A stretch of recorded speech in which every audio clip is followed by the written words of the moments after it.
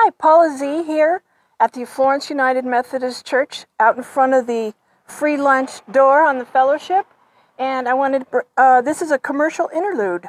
I'm letting y'all know that we've had a change in the um, free lunch program. We're now passing tickets out the door, looking for volunteers. We've served over 1,300 plus uh, Subway voucher meals since March 17th and continuing. We've uh, gone through a few of our grants already the Peace Harbor grant, um, the United Way, and we're working our way down through the Salvation Army grant right now.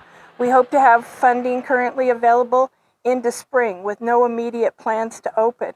Currently, everybody's eligible to get one six inch sub, any sub they like, and we're serving, continuing to serve Tuesdays and Thursdays from 11 to 1.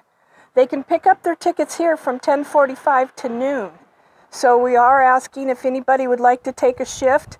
You can let me know. Don Gardner has agreed to act as volunteer coordinator. He's been working with us right along, as has Sandy Steckler and Renee across the street, Renee Hanson. So I'm going to take you in and show you a few things inside. We'll be ready to go.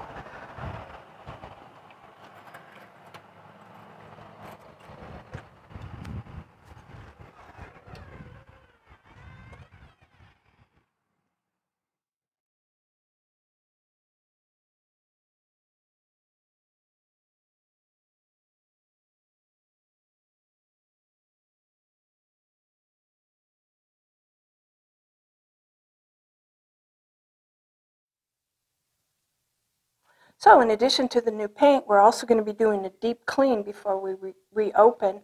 Uh, we hope that's sometime come spring.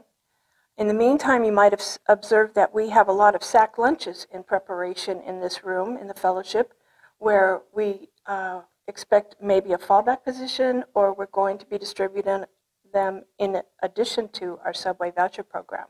So if you'd like to help us out, uh, so far we have four food volunteers and would like to get some from Florence United Methodist or anybody else who'd like to help us. It'd just be one shift per month or every other month. We'll see, depending on how many people sign up. Um, we'll have a lockbox outside the church, access to a bathroom in here, and then uh, passing the tickets out the door. So it, uh, call me, Paula Z, or, and I'll connect you with Don Gardner, our volunteer coordinator. Thank you.